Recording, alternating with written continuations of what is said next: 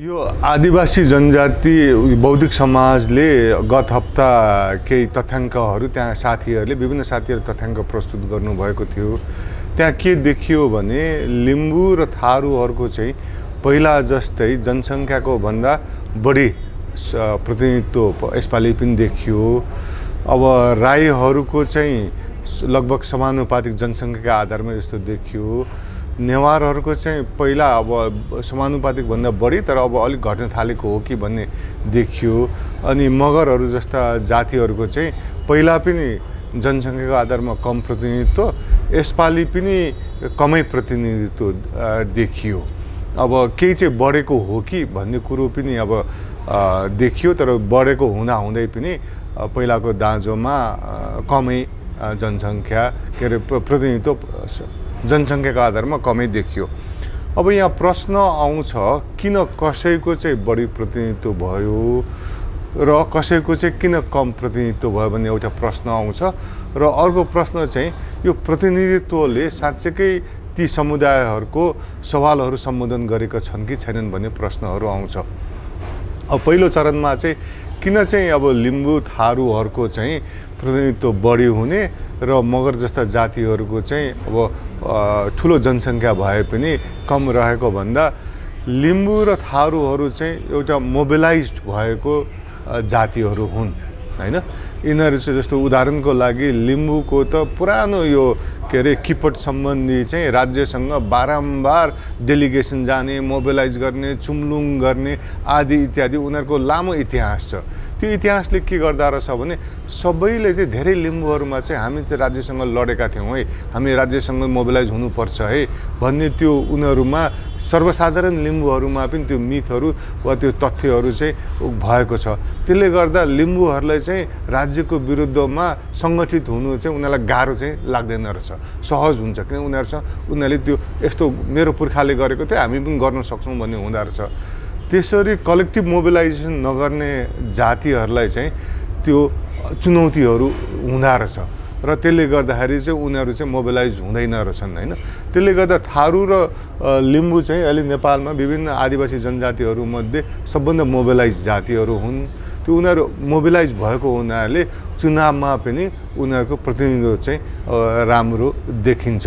एउटा चाहिँ यो मोबिलाइजेसनको इतिहासले असर पार्दा रहेछ। उनीहरूसँग त्यो मोबिलाइजेसन गर्ने संरचनाहरू निर्माण भइसकेको हुन्छ जस्तो लिम्बूहरूको चुम्लुङ। के पर्यो भने चुम्लुङ गर्ने भनेर बैठक बोलाउने भन्ने त्यस्तो संरचनाहरू हुँदो रहेछ होइन? अरूको चाहिँ त्यस्तो हुँदैन रहेछ।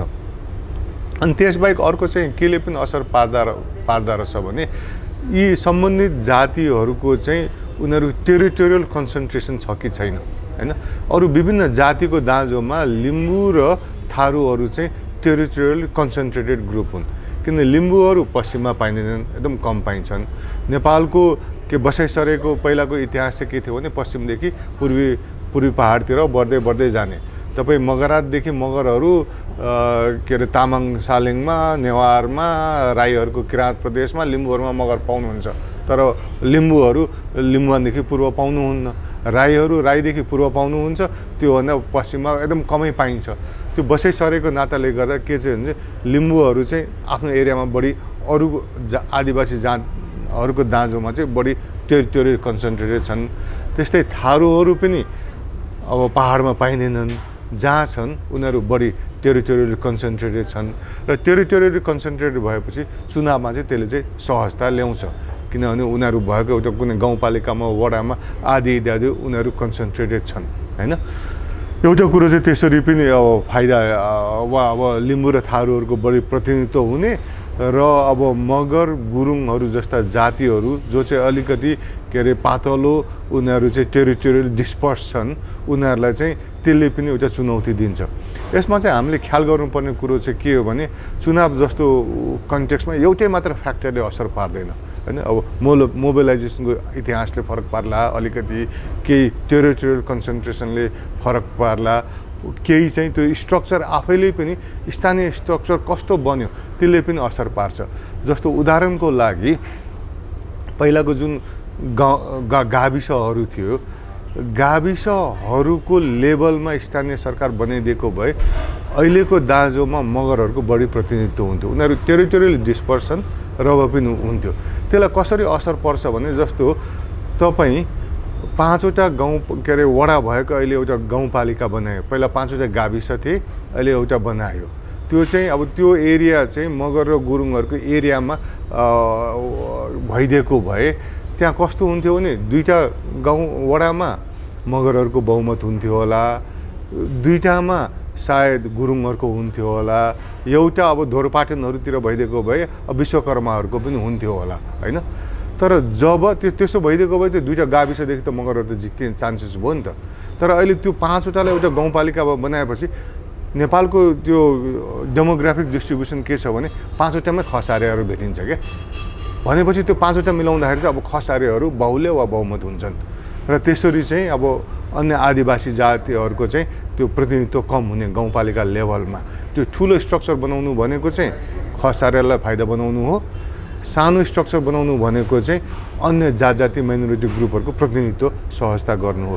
त्यसले गर्दा यी विभिन्न कारणले गर्दाखेरि चाहिँ चाहिँ अब कसैको कम प्रतिनिधित्व हुने पहिला ऐतिहासिक रूपदेखि कसैको चाहिँ पहिलादेखि नै बढी प्रतिनिधित्व हुने भन्ने प्रश्न आउँछ। अब यहाँ अर्को प्रश्न चाहिँ महत्त्वपूर्ण प्रश्न के हो भने त्यो बढी प्रतिनिधित्व भएका वा प्रतिनिधित्वले जो चाहिँ अब यो केही मात्रामा भए पनि मगर पनि प्रतिनिधित्व भएका छन् लिम्बूहरू केही बढी पनि भएका होलान् उनीहरूले चाहिँ आफ्नो समुदायको सवालहरू सम्बोधन गर्न सकेका छन् कि छैनन् गरेका छन् छन् कि छैनन्?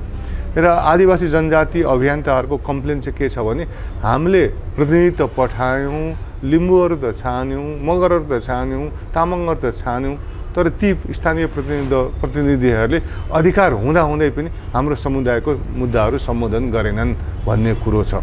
त्यसमा अब दुई तिनवटा कुरोहरू छ होइन? एउटा चाहिँ यो प्रतिनिधित्वको लिट्रेचरमा छलफलमा चाहिँ एकाडेमिक छलफलमा चाहिँ प्रतिनिधित्व भनेको कम्तीमा पनि दुई प्रकारको हुन्छ। एउटा अनुहारको प्रतिनिधित्व जसलाई डिस्क्रिप्टिभ प्रतिनिधित्व भनिन्छ रिप्रेजेन्टेसन भनिन्छ। अर्को चाहिँ सवाल। अनुहार मात्र भएर हुँदैन। त्यो अनुहारले सवाल बोक्छ कि बोक्दैन त्यो पनि महत्त्व कुरो हो। अहिले नेपालमा चाहिँ हामीले खालि यो मगर यतिजना भए गुरुङ यतिजना स्थानीय तहमा मेयर भए लिम्बूहरू यति भए राईहरू यति भए भन्दाखेरि चाहिँ हामीले अनुहारलाई गनिरहेको छौँ क्या। तर ती अनुहारहरूले सवाल बोकेका छन् कि छैनन्। जस्तो एमालेमा लागेको मगरले वा लिम्बूले त्यो लिम्बू सम समुदायको सवालहरू बोक्छ कि बोक्दैन त्यो महत्त्वपूर्ण कुरो हो। र विगतको पाँच वर्षमा पनि के देखियो भने धेरैले बोक्दैनन् रहेछन् एक दुईजना प्रतिनिधित्वहरूले लिम्बू भाषा राई भाषाको विभिन्न भाषा आदि इत्यादिमा इस्युहरू सम्बन्ध नेवारहरूको सवालमा किर्तिपुरको मेयरले केही कुरोहरू गर्नुभयो होइन? ती अनुहारले चाहिँ ती सवालहरू बोकेको भेटियो। तर अधिकांश स्थानीय प्रतिनिधिहरूले अनुहार चाहिँ आदिवासी जनजातिको छ तर आदिवासी जनजातिहरूको सवाल चाहिँ नबोकेको भेटियो। त्यसले गर्दा हामीले ख्याल गर्नुपर्ने चाहिँ के हो भने चाहिँ त्यो अनुहार मात्र हेरेर हुँदैन। अनुहारले ती समुदायको सवालहरू बोकेका छन् कि छैनन् भन्ने कुरोहरू हामीले हेर्नुपर्छ। अब यसमा चाहिँ किन चाहिँ ती अनुहारहरूले त अब भाषाको समस्या त भोगेका थिए होला नि त। एउटा लिम्बुवानमा हुर्किएको एमालेमा वा ने नेपाली काङ्ग्रेसमा लागेको स्थानीय प्रतिनिधिले स्कुलमा त भाषाको समस्या त बोकेको सम्बोधन समस्या त भोगेको थियो होला नि त। तर उसले किन चाहिँ पछि त्यो चाहिँ भोगेन? के अरे त्यो कुरोलाई चाहिँ उसले सम्बोधन गरेन भन्दा दुई तिन कुरोहरू आउँछ होइन? एउटा कुरो चाहिँ अब त्यो लिम्बू मार्क्सिस्ट आइडियोलोजीबाट ऊ प्रति प्रशिक्षित भयो भने उसलाई चाहिँ के सिकाइएको हुनसक्छ भने होइन यो जाति भाषीको कुरोहरू यो गाउँ हुन् वर्गको कुरो मात्र ठुलो हो भनेर चाहिँ उसले चाहिँ त्यो सवालै समुदायको सवाल बिर्सेको हुनसक्छ एउटा कुरो। होइन उसको जुन किसिमले पछि प्रशिक्षण भयो। होइन दोस्रो कुरो चाहिँ कस्तो हुन्छ भने अहिलेका ठुल्ठुला पार्टीहरू काङ्ग्रेस एमाले जस्ता पार्टीहरू चाहिँ एउटा जातिको हाबी भएको मैले चाहिँ त्यो पार्टीहरूलाई काङ्ग्रेस एमालेलाई चाहिँ एकल जातीय पार्टी भन्छु। किनभने त्यसको नेतृत्व पनि एउटा जातिको हाबी छ उनीहरूले अप्नाएको नीति पनि एउटा जातिले चाहेको नीतिहरू छ। त्यस्तो पार्टीमा लागेका साथीहरूले चाहिँ उनीहरू त्यो इस्युहरूमा सेन्सिटिभ हुँदा हुँदै पनि उनीहरूले सम्बोधन गर्नु चाहिँ उनीहरूलाई खतरापूर्ण हुन्छ। उनीहरूले खतरापूर्ण नभए पनि खतरापूर्ण छ कि भन्ने सम्झिन्छन्। जस्तो उदाहरणको लागि खतरापूर्ण छ भन्ने कुरो अब किर्तिपुरको मेयरले उनले नेवारी भाषा सम्बन्धी केही कामहरू गरे। उनले टिकट पाएनन्। काम त राम्रै गरे राम्रो काम भयो उनी दण्डित बने होइन? त्यो कुरो त एमालेमा काङ्ग्रेसमा लागेका नेताहरूले त बुझ बुझेको हुन्छ नि त। र अब काङ्ग्रेसमा लागिसकेपछि के अरे एमालेमा लागिसकेपछि पार्टीको माथिल्लो तहमा जाउँ भने त ऱ्यासनल मानवलाई त हुन्छ। र त्यो बुझ्यो यदि उहाँहरूले आफ्नो समुदायको इस्युहरूमा उहाँहरू सेन्सिटिभ हुनुहुन्छ भने पनि उहाँहरू चाहिँ त्यो पार्टीको स्ट्रक्चरले पार्टीमा भित्रको इन्सेन्टिभ स्ट्रक्चरले चाहिँ उहाँहरूलाई रोकेको हुनसक्छ। त्यसले गर्दाखेरि चाहिँ एक उहाँहरूको प्रशिक्षणले गर्दा उहाँहरूलाई त्यो बिर्साएको हुनसक्छ। दुई त्यो प्रशिक्षण बावजुद पनि आफ्नो समुदायको इस्युहरूप्रति उहाँ संवेदनशील हुनुहुन्छ भने उहाँहरूलाई चाहिँ पार्टीको स्ट्रक्चरले पार्टीमा पार्टीभित्रको इन्सेन्टिभ स्ट्रक्चरले चाहिँ वा दण्ड र रिवार्ड को सवालले चाहिँ उहाँहरूलाई रोकेको हुनसक्छ होइन? र यस सम्बन्धी अर्को हामीले ख्याल गर्नुपर्ने कुरो चाहिँ के हो भने यो प्रतिनिधित्वले चाहिँ जुन प्रतिनिधित्व हामी गन्छौँ नि त्यो प्रतिनिधित्वले चाहिँ अन्तत गत्त गरेर चाहिँ के बेफाइदा गरेको पनि हुनसक्छ भने यो आदिवासी जनजातिहरूको हकितको लागि बेफाइदा गरेको पनि हुनसक्छ। म यो चाहिँ तपाईँहरूलाई छोटो उदाहरण चाहिँ इन्डियाको उदाहरण दिएर भन्छु। यो विभिन्न जात जाति समुदायको हक अधिकारको अध्ययन गर्ने मान्छेहरूले चाहिँ के भन्छन् भने सम्बन्धित जात जातिकै राजनीतिक आन्दोलन उठ्यो भने चाहिँ त्यो कुरोहरू सम्बोधन उहाँहरूको बढी से बढी इस्युहरू सम्बोधन हुन्छ। जस्तो नेपालमा पनि मधेसीहरूको आन्दोलन उठ्यो अनि मधेसीहरू ल लडे उनीहरूले त्यो प्रतिनिधित्व पनि बढी पाए त्यसको साथसाथै उहाँहरूले सङ्घात्मक संरचना पनि पाए। किन पाए? किनभने उहाँहरूको आफ्नै पार्टी छ होइन? दुई तिनवटा पार्टी होला नि तर आफ्नै पार्टी छ। त्यो काङ्ग्रेसको मधेसीहरूले सम्बोधन गरेनन् एमालेको मधेसीहरूले सम्बोधन गरेनन् तर त्यो मधेसमा बेस मधेसवादी पार्टीहरूले दरोसँग उठाएको हुनाले उनीहरूले आफ्नो मागहरू सम्बोधन गरे। त्यसले गर्दाखेरि चाहिँ सम्बन्धित समुदायकै राजनीतिक पार्टीहरू भयो भने चाहिँ त्यो कुरोहरू चाहिँ सम्बोधन हुन्छ भन्ने कुरोहरू चाहिँ स्थापित छ। अब यो विभिन्न प्रतिनिधि राजनीतिक कर्मीहरू चाहिँ गैर समुदायले नेतृत्व गरेको पार्टीहरूमा लाग्यो भने के हुन्छ भने चाहिँ त्यो भनेको चाहिँ सम्बन्धित समुदायले पार्टी निर्माण गर्न अप्ठ्यारो पर्नु हो। जस्तो जनमुक्ति पार्टी छ अहिले जनता समाजवादी पार्टी छ लिम्बुवान मञ्चहरू छ। लिम्बूहरू काङ्ग्रेस एमालेमा लाग्नु भनेको चाहिँ सक्षम लिम्बूहरू काङ्ग्रेस एमालेमा लाग्नु भनेको चाहिँ मञ्चमा नआउनु हो जनमुक्ति पार्टीमा नआउनु हो होइन? र त्यसले गर्दा चाहिँ त्यो पार्टी निर्माणमा चाहिँ अप्ठ्यारो पर्छ। जस्तो इन्डियामा कञ्चन चन्द्र भन्ने एकजना पोलिटिकल साइन्टिस्टले चाहिँ यो दलितहरूको बहुजन समाज पार्टी चाहिँ को पार्टी एक्सप्यान्ड कसरी भयो भनेर उनले अध्ययन गर्दाखेरि उनीहरूले त्यहाँ दुई तिनवटा स्टेटको इन्डियाको एउटा उत्तर प्रदेश र एउटा चाहिँ कर्नाटकाको उनले कम्पेयर गरेका थिइन्। उनले सरसर्ती हेर्दाखेरि चाहिँ उनलाई चाहिँ सुरुमा चाहिँ के लागेको थियो भने कर्नाटकाको दलितहरू चाहिँ शिक्षित पनि अलिअलि सम्पत्ति पनि कमाएका। त्यसले गर्दा दलितहरूको पार्टी चाहिँ त्यहाँ चाहिँ विस्तार हुनुपर्ने जस्तो उनले सम्झेका थिइन्। तर त्यहाँ भएन। त्यसको सट्टा बरु उत्तर प्रदेशमा चाहिँ व्यापक रूपले वृद्धि भयो। त्यहाँ मायावती चार पाँचपल्ट चिफ मिनिस्टर बनिसकिन्।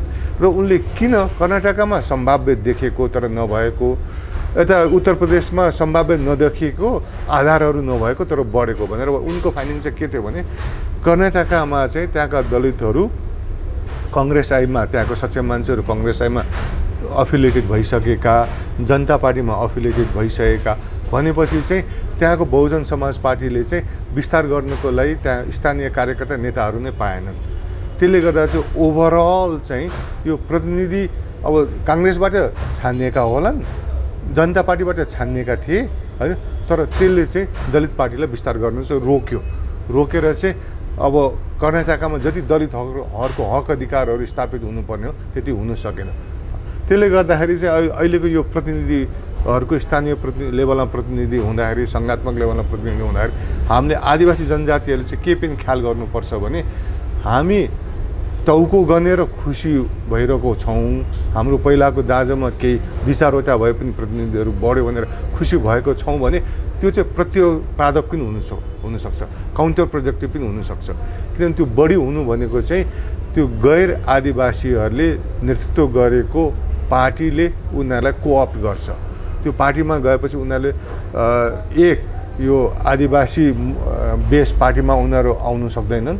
आदिवासी पार्टी विस्तार हुनलाई गाह्रो पर्न सक्छ र दुई चाहिँ उनीहरू आफू सेन्सिटिभ हुँदा हुँदै पनि त्यहाँको इस्युहरू चाहिँ आफ्नो समुदायको इस्युहरू चाहिँ पार्टीको नेतृत्वको डरले भोलि दण्डित गर्ला कि भन्ने डरले उनीहरूले सम्बोधन गर्दैनन्। भनेपछि चाहिँ उनीहरू प्रतिनिधित्व बने तर समुदायको प्रतिनिधित्व नबन्न सक्छ। महिला र पुरुषको सम्बन्ध असर पर्ने भनेको घरभित्रको सम्बन्धले हो होइन? एउटा महिलाको कतिखेर चाहिँ अब उसलाई डिस्क्रिमिनेसन हुन्छ भन्दा घरभित्र हुन्छ होइन? अब पछि खानुपर्ने जस्तो खस आर्यहरूमा सबै पुरुषहरूले खाएपछि खानुपर्ने होइन? त्यस्तो सवालमा चाहिँ आदिवासीहरूमा कम डिस्क्रिमिनेसन डेफिनेटली छ होइन? महिला र पुरुषहरूले सँगै खान्छन् होइन? सँगै खाएपछि डिस्क्रिमिनेसन कम भयो। त्यो चाहिँ छ। अनि कतिपय सवालमा अब पुँजीको अब परिचालन गर्नेदेखि लिएर अब खेतबारीमा उम्रेको फसल कसले बेच्ने भन्ने अधिकारहरू पनि आदिवासी जनजातिहरूमा खस आर्यको दाँजोमा महिलाहरूको हक अधिकार केही मात्रामा छ। तर समस्या कतिखेर आउँदो रहेछ भने चाहिँ इभन आदिवासीहरूको सवालमा चाहिँ पब्लिक स्पेयरमा जब हामी तपाईँ घरदेखि पब्लिक स्पेयरमा जान्छौँ त्यसमा चाहिँ आदिवासीहरूको पनि पहिलादेखि नै पब्लिक स्पेयरमा महिलाहरूको प्रतिनिधित्व कम छ। अहिले मात्र होइन है पहिलादेखि नै घरभित्रको सम्बन्धमा राम्रो सम्बन्ध छ महिलाहरूको निर्णय पनि बढी गर्ने अधिकारहरू छन्। तर जब पब्लिक स्पेयरमा जान्छ जस्तो तपाईँहरू पहिला लिम्बूहरूको मैले अघि चुम्लुङको कुराहरू गरेँ धेरै चुम्लुङहरू भएको थियो होइन? तर त्यो चुम्लुङहरूको तपाईँ त्यो सिग्नेटरीहरूको नामहरू पनि सबै पुरुषहरू छन् होइन? महिलाहरू गएका छैनन्। भनेपछि यो पब्लिक स्पेयरमा चाहिँ प्रतिनिधित्व जनजाति आदिवासी जनजातिहरूको पनि पहिलादेखि पनि कमै हो। होइन?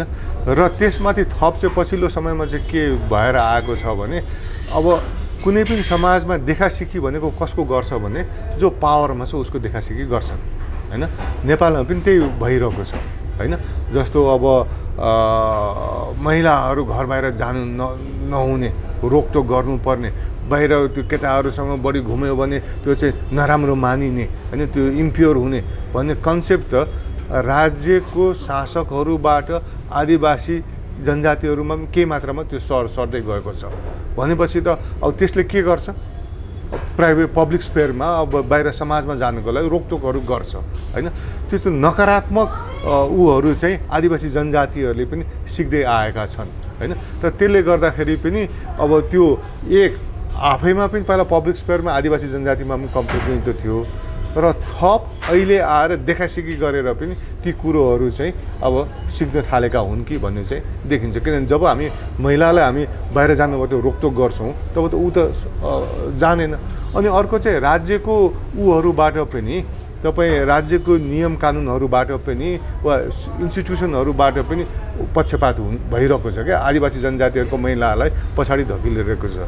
जस्तो यो हिमालय भेगमा चाहिँ एउटा महिलाले पान अब दाजुभाइलाई बिहा गर्ने जुन चाहिँ चलन थियो नि अब अहिले राज्यले चाहिँ के गर्छ भने छोराछोरीलाई स्कुलमा पठाउनु पऱ्यो भने तेरो बाबु को भनेर सोध्छ होइन? अनि त्यो महिला जसको चाहिँ तिन चारजना दाजुभाइ उसले श्रीमानको रूपमा उसले स्वीकारेको छ गरेको छ उसले चाहिँ कुन चाहिँ बाबुलाई चाहिँ भन्ने? उसले त भन्नु चाहेन नि त किनभने सबै चार पाँचजना नै उसको श्रीमान उसको बच्चाको बाबु हुनसक्छ होइन? अब यहाँ चाहिँ जबरजस्ती फल्ना बाबु भन्नै पर्ने। अनि सम्पत्ति गर्दाखेरि अब अहिले चाहिँ अलिकति पाँच सय वर्ष अगाडि परिवर्तन भयो। पहिला चाहिँ खालि छोराहरूलाई परिवर्तन सम्पत्ति दिनुपर्ने होइन? भने त्यस्तो किसिमले पनि महिलाहरूलाई अब सम्पत्ति नभइकन चुनाव त लड्नु भएन गाह्रो हुन्छ। कि त चुनाव लड्नु पऱ्यो भने दाजु दाजुभाइ बाबुको भर गर्नु पऱ्यो मलाई चुनावमा पैसा चाहिन्छ है भनेर माग्नु सक्नु पऱ्यो त्यसले डिपेन्डेन्सी क्रिएट गर्छ नि त। त्यसले त अप्ठ्याराहरू क्रिएट गर्छ। त्यसले गर्दा राज्यको संरचनाहरूले पनि अब देखासिखी गरेर पनि र आदिवासी जनजातिहरूका आफ्नै पनि पब्लिक स्पेयरमा चाहिँ पहिला पनि महिलाहरूको कमै प्रतिनिधित्व हुने गर्थ्यो। यो अघिल्लो कार्यकालले मैले विचारमा के सिकाएर भने चाहिँ एउटा कुरो चाहिँ स्थानीय तवरबाट काम गर्दाखेरि चाहिँ स्थानीय तवरबाट जनताको नागरिकको धेरै कुरोहरू सम्बोधन हुन सक्छन्। यो पहिलो कार्यकाल त अब पहिलो अनुभवकै कुरो हो। सिस्टम बसिसकेको थिएन होइन? त्यसले गर्दा सिस्टम बसाउनु पनि टाइम लाग्यो। अब जनप्रतिनिधिहरूलाई नै नियम कानुन बुझ्न र कसरी चाहिँ यो गर्नुपर्छ भने उनीहरूले अनुभव लिन टाइम लगायो। त्यो यो सिस्टम बसि नसकेको हुनाले केही ठाउँमा करप्सनहरू पनि भए नभएका होइनन् होइन? त्यसले गर्दाखेरि अब चाहिँ मेरो विचारमा पहिलो पहिलो कार्यकालको अनुभवको आधारमा हामीले अब सिस्टमलाई अझ मजबुत बनाउँदै लानुपर्छ। जहाँ चाहिँ कमजोरीहरू भए जस्तो भ्रष्टाचारहरू नभएका होइनन् त्यसलाई चाहिँ अब रोक्ने प्रया अब थाहा हो नि त यसरी भ्रष्टाचार हुन्छ गर्दा रहेछन् भनेर। अब त्यो भ्रष्टाचारहरू कसरी चाहिँ रोक्न सकिन्छ भनेर स्थानीय तवरमा काम गर्नु सक्नु पर्यो। र अर्को चाहिँ यो स्थानीय तवरलाई अधिकार दिनु राम्रो हो तर यो स्थानीय के अरे स्ट्रक्चर पनि अलिकति नागरिक सुहाउँदो चाहिँ छैन। किनभने पहिलाको वडाहरूकोलाई चाहिँ हटाइयो होइन? र गाविस लेभलको पहिलाको गाविसलाई चाहिँ एउटा वडा बनाइयो। त्यो भनेको के हो भने पहिला एउटा गाविसमा नौवटा वडा थियो त्यो नौवटा वडामा बिहान बेलुका वडा सभा बस्नु सक्थ्यो। वडा सभा बसिसकेपछि मान्छेले स्थानीय तवरमा कुलो सफा गर्ने बाटो सफा गर्ने आदि इत्यादि स्था त्यो गाउँले भेला भएर पहिला पहिला सम्बोधन गर्थ्यो। एटलिस्ट मेरो गाउँमा त्यस्तो हुन्थ्यो। आजकल त्यो भइरहेको छैन। किनभने आजकल वडा भनेको पहिलाको गा गाविसलाई बनाएको छ।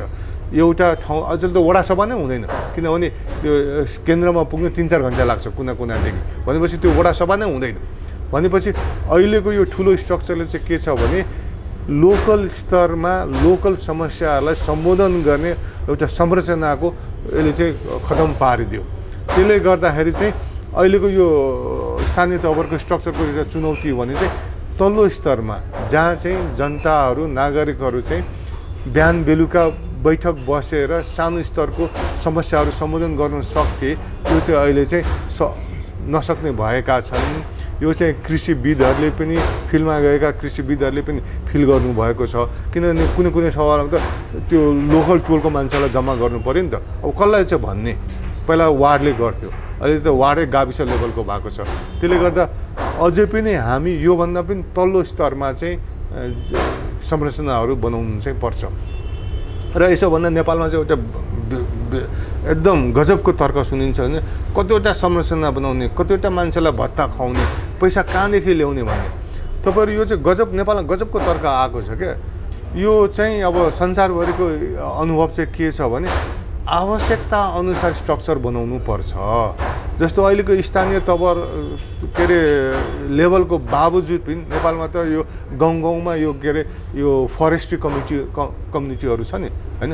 फरेस्ट्री के सामुदायिक वनहरू छ नि त्यो पनि एउटा स्थानीय लेभलको एउटा सरकारै हो भन्दा हुन्छ होइन? जहाँ जहाँ जे जे आवश्यकता हुन्छ त्यो बनाउनु पर्छ। अब खालि त्यो स्थानीय तवर मात्र बनाउने भनेर हामीले नेपालमा एकपल्ट त कम्युनिटी फरेस्ट्रीहरू पनि त हटाएको हो नि त। पहिला त कम्युनिटीहरू गर्थ्यो सबै राष्ट्रियकरण गर्यो। राष्ट्रियकरण गरेपछि झन् चौपट भयो होइन जङ्गल नाश भयो अनि त रिलाइज गर्यो नि त। त्यसले गर्दा यो सरकारको स्ट्रक्चर भनेको कुन लेभलमा छ? होइन टोलमा एउटा हामीले के अरे धाराको पानी झार्दाखेरि त्यहाँ लोकल के अरे त्यो युजर्स कमिटी चाहिन्छ भने त्यो बनाउनु पर्छ। त्यतिको लागि मात्र हो भने त्यतिको लागि मात्र हो। त्यसले गर्दा त्यो सरकार कुन लेभलमा बनाउने भने त्यहाँको स्थानीय जनतालाई नागरिकलाई आवश्यकता छ कि छैन त्यो आवश्यकता छ भने बनाउनु पर्छ। र मैले देखेको चाहिँ यो पहिलाको गाविस लेभलको वडाहरूको चाहिँ नेपालमा आवश्यकता छ। नागरिकको लागि आवश्यकता स्थानीय नागरिकको लागि उनीहरू बैठक बस्नको लागि उनीहरूले आफ्नो सम्बोधनको लागि आवश्यकता त्यो बनाउनु पर्छ। र त्यसको साथसाथै चाहिँ अब यो चाहिँ अधिकार के चाहिँ कति दिने कसलाई कति दिने भन्ने कुरो चाहिँ यो डिसेन्ट्रलाइजेसनको लिट्रेचरमा जो सब्सिडियारी प्रिन्सिपल भनेर भन्छ। त्यसले चाहिँ के छ के भन्छ भने जुन तल्लो लेभलको इकाइले कुनै कुरो इफिसियन्टली त्यसलाई सम्बोधन सक्छ भने त्यो अधिकार त्यसलाई दिनुपर्छ। जस्तो टोलको लेभलमा कुनै टोलको समस्याहरू सम्बोधन गर्न सक्छ। त्यो गाउँपालिकाले सक्दैन। गाउँपालिकालाई झन्झट हुन्छ। गाउँपालिकालाई समय लाग्छ होइन? कुनै कुनै गाउँपालिका लेभलको चाहिँ गाउँपालिकाले गर्छ। त्यस्तै प्रान्तीय लेभलको कुनै कुनै समस्या न केन्द्रले सम्बोधन गर्न सक्छ न स्थानीय तहले सम्बोधन गर्न सक्छ। त्यो चाहिँ प्रान्तलाई अधिकार दिनुपर्छ। कुनै कुनै केन्द्रले केन्द्रले मात्र गर्न सक्छ। डिफेन्सको भयो मोनिटरी कुरा भयो परराष्ट्रहरू त्यो कुरा केन्द्रले मात्र गर्न सक्छ प्रान्तले गर्न सक्दैन स्थानीयले गर्न सक्दैन त्यसले गर्दा जुन चाहिँ अधिकार चाहिँ जुन लेभलको सरकारले इफिसियन्टली सम्बोधन गर्नु सक् पर्छ त्यसरी दिनुपर्छ। कतिवटा लेभलको सरकार भन्ने होइन। संसारभरि आठ दसवटा लेभलको सरकार छन् होइन? कुनैमा बढी पावर होला कुनैमा कम होला तर उनीहरू आवश्यकता अनुसार उनीहरूले ब बनाइएका छन्। र नेपालमा पनि त्यस किसिमले चाहिँ आवश्यकता अनुसार खालि देखाउनुको लागि होइन त्यो पोस्ट क्रिएट गर्नुको लागि होइन आवश्यकता सम्बोधन गर्नुको लागि त्यो विभिन्न लेभलको सरकारहरू जरुरत पर्छ।